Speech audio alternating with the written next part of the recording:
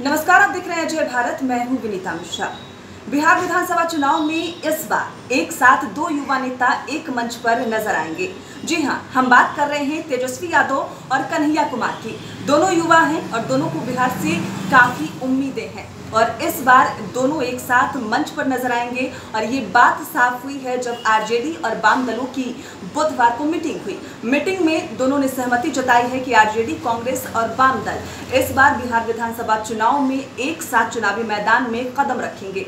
और इस मीटिंग के बाद ये साफ़ हो गया है कि जब मंच पर चुनावी प्रचार होगा तो तेजस्वी यादव और कन्हैया कुमार एक साथ चुनावी मैदान में उतरेंगे और एक दूसरे का सपोर्ट करते नज़र आएँगे। आपको बता दें कि बिहार विधानसभा चुनाव में दोनों नेता युवा हैं और दोनों से बिहार को काफ़ी उम्मीदें हैं।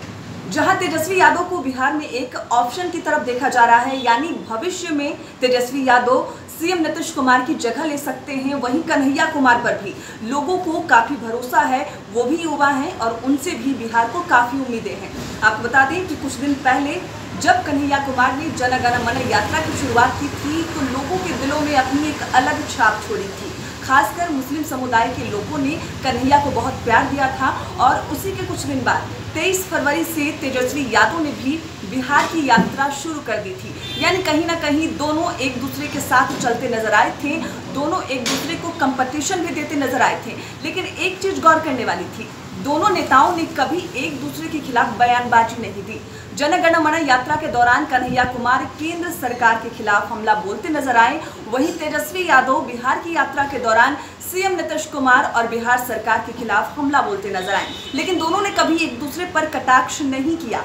दोनों बिहार को नई रफ्तार देने के लिए काम करते नज़र आए हैं। लेकिन अब जो खबरें सामने आ रही है, दोनों को बिहार से काफ़ी उम्मीदें हैं। बिहार को इन दोनों नेताओं से काफ़ी उम्मीदें हैं। ये दोनों काफ़ी युवा हैं। दोनों को मुख्यमंत्री का पद का दावेदार भी कई लोग मान रहे हैं। और ऐसे में दोनों एक साथ चुनावी मंच पे उतरेंगे और लोगों से बिहार विधानसभा चुनाव में वोट की अपील करेंगे। अभी के लिए बस इतना ही। बिहार झारखंड की तमाम खबरों के लिए देखते रहिए अजय भारत।